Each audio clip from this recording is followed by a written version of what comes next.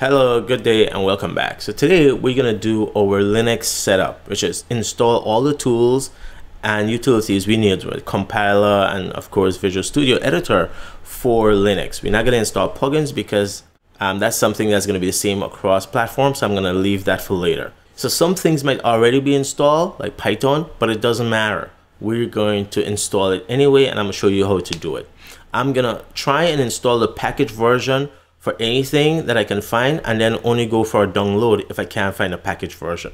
When it's a package one that's in the, the, the, distributions repo. So if you're using something like Ubuntu, which is what I'm using here, you can find similar instruction if you're using another distribution that's based off of say Red Hat or SUSE Linux, you are comfortable with how to use that package manager. So the first thing I'm gonna do is go to our video on Mac setup and use those links. I'm gonna jump over to the Git website and I can see the instruction is just telling me to install using the package version and you could see um, for all the other Linux distributions the same thing. That's pretty straightforward and easy. Now I'm going to go and do Golang and I could download Go here and install it but instead I'm going to search my distributions repository and for Ubuntu it's there. It's a little bit behind, it's 1.7 instead of 1.8.3 but I'm to just install that. The next thing I'm going to do is Python.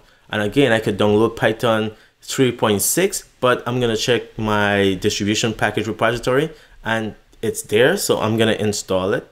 Um, specifically, I want Python 3.6, so I just have to set my permission, but again, kick it off and it's good. Java is a little bit more tricky on Ubuntu. And that's because Ubuntu does not ship a link to Java um, Oracle's JDK, but rather they use like the OpenJDK and so on. So we're gonna go on the web and do a search for installing, you know, Java Oracle JDK in Linux and click on this link and just copy those instructions and follow them and paste them. So you're not going to see me paste them because, hey, you can just copy and paste. So we're going to speed through that. I'm going to copy, paste each one of those three instructions. And then at the bottom there tells you that you should export set Java home. I'm going to copy that. I'm going to put this in my etc um, bash that bash rc, but really you should put it in etc profile. And so down the end of your etc profile, you want to just paste this in. Even though you see me putting it in bash etc bash dash bash rc, put it in etc profile. Next up is Scala. Again, I'm going to search for Scala. It's available. I'm just going to install the one that's in my repo. Um, of course, I have to give set the permission here and that's installed. Groovy, similarly, just change from Scala to Groovy. That installation is fast and easy. Finally, I just want to show you though, I'm going to check search for Visual Studio and it's not in my package repo, so I'm going to download that. And the installation of that is just going to use dpkg and minus i for install and give it the Debian file. If you use an RPM based system, you'd use Yum for downloading stuff from the internet, but then RPM for downloading things that's local. Now, when it comes to C++ tools, if I type G++, um, that's the compiler in Unix land for C++ code, you see I have it installed already. But if I didn't have it installed, this is the command that I would type.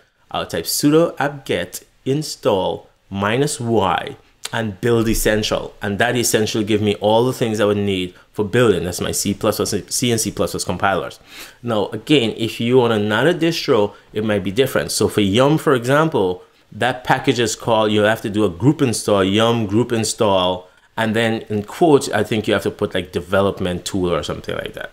I know it seems a little bit fast, but that's just how simple it is to install in Linux slash Unix. If we could have put all these command, just type one command and got all seven of the tools or six of the tools installed, and then just had to download and install Visual Studio. Follow me on Twitter and Instagram.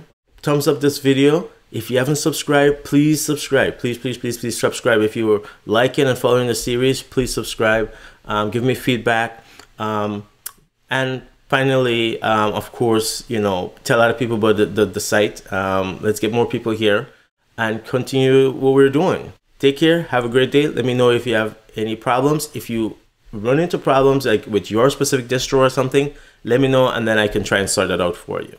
Okay. See you. Have a great day. Good luck.